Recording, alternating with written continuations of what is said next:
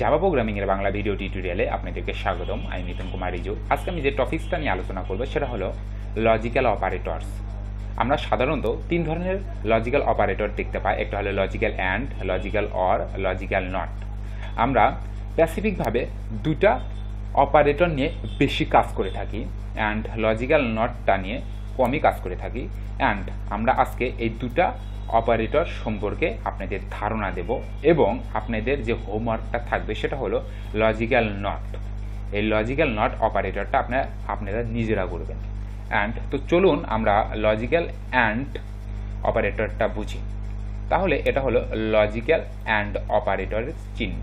ওকে আর এটা logical or অপারেটরের চিহ্ন। এখন লজিক্যাল অ্যান্ড অপারেটর বলতে আমরা কি বুঝি? ফার্স্ট অফ অল আমাদের দুটা কন্ডিশন দেওয়া থাকবে।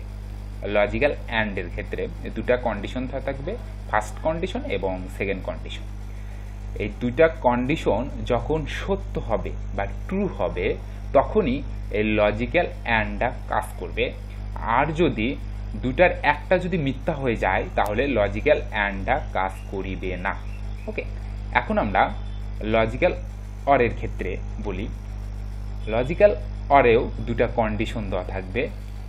ফার্স্ট কন্ডিশন যদি সত্য হয় বাট সেকেন্ড কন্ডিশন যদি মিথ্যা হয়, তাহলে লজিক্যাল অরটা কাজ করবে। মানে দুটার একটা সত্য হলেই লজিক্যাল অরটা কাজ করবে। ওকে তো চলুন আমরা প্রোগ্রামিংয়ের মাধ্যমে জিনিসটা বুঝি। এখন আমরা ইক্লিপসে যাব অ্যান্ড কোড করব যে লজিক্যাল অপারেটরগুলো কীভাবে কাজ করে? তাহলে আমরা একটা ডেটা টাইপ নেব integer and X equal three and integer একটা ভেরিয়েবল নেব ওয়াই ইকুয়াল এই ভেরিয়েবলের মান আমরা দিয়ে দেব ফোর অথবা থ্রি দিয়ে দিলাম। অ্যান্ড তাহলে আমরা দুটা ভেরিয়েবল ডিক্লেয়ার করে ফেললাম। অ্যান্ড দুটা ভেরিয়েবলের মানও অ্যাসাইন করে দিলাম। এখন আমরা যে কাজটা করব ফার্স্ট অফ অল আমরা লজিক্যাল অর অপারেটর নিয়ে কাজ করব। না, আমরা লজিক্যাল অ্যান্ডটা নিয়ে আগে কাজ করি, তারপরে লজিক্যাল অর নিয়ে কাজ করব ওকে তাহলে চলুন, আমরা লজিক্যাল অ্যান্ড নিয়ে কাজ করি। তাহলে system dot out dot print line and একটা সেমিকলন দেবেন লাস্টে এখন আমরা যে কাজটা করব, সেটা হলো মানে দুটা কন্ডিশনই সত্য হতে হবে।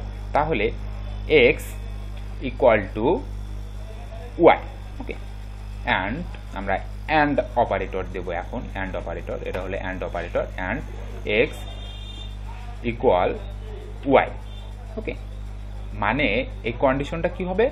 এই কন্ডিশনটা হবে দুটাই সত্য। মানে আমাদের দুটা কন্ডিশন থাকবে, দুটা কন্ডিশনই সত্য হতে হবে।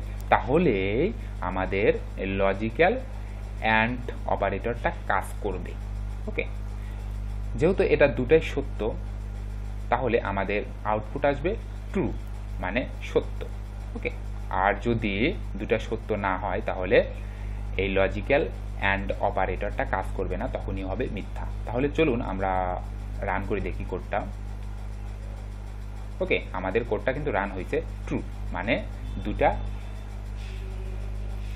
কন্ডিশনই সত্য, সেই জন্য লজিক্যাল অ্যান্ডটা কাজ করেছে। এখন আমরা লজিক্যাল অর নিয়ে কাজ করব, তাহলে system dot out dot print line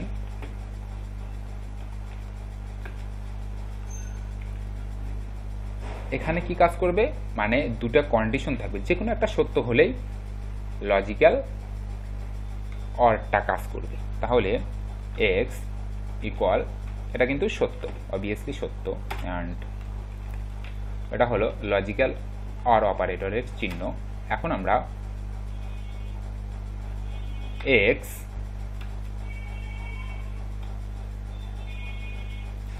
তার আগে আমরা এই জিনিসটা কেটে দিই অ্যান্ড আমরা এখানে যে জিনিসটা লিখব সেটা হলো X not equal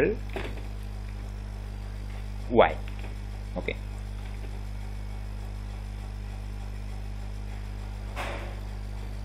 and আমরা মানটা চেঞ্জ করে দেই।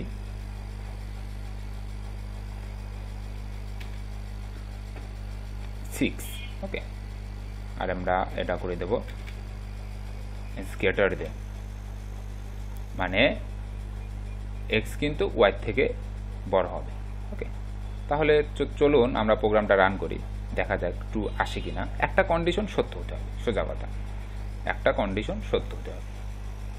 অবভিয়াসলি ট্রু ওকে অ্যান্ড আজকে এই পর্যন্তই। আপনারা যদি আরও ভালোভাবে বুঝতে চান লজিক্যাল অপারেটরটা তাহলে গুগলে সার্চ দেবেন এবং অনেক অনেক উদাহরণ দেখতে পাবেন। ওই উদাহরণগুলো করার ট্রাই করবেন, তাহলে আরও ভালোভাবে বুঝবেন। আমি জাস্ট সিম্পল সিম্পল প্রোগ্রামগুলো আপনাদের দেখাবো। ওকে অ্যান্ড সবাই ভালো থাকবেন, সুস্থ থাকবেন। Bye bye